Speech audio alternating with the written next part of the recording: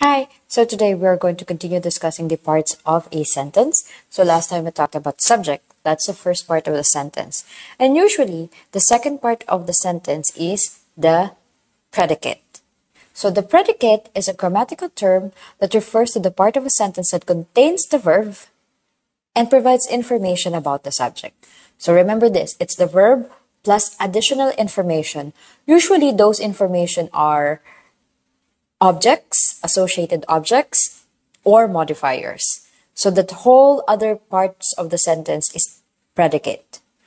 It is crucial in conveying the action or state of being in a sentence. So here are some examples. In the sentence, she wrote a beautiful poem. She is the subject. The predicate is wrote a beautiful poem. So that entire thing, that's the predicate. Second sentence, he teaches English literature with enthusiasm. So he is the subject and the predicate is teaches English literature with enthusiasm. The third sentence is they are studying hard for their exams. They is the subject, are studying for their exams is the predicate. So remember, verb plus associated objects and modifiers. That's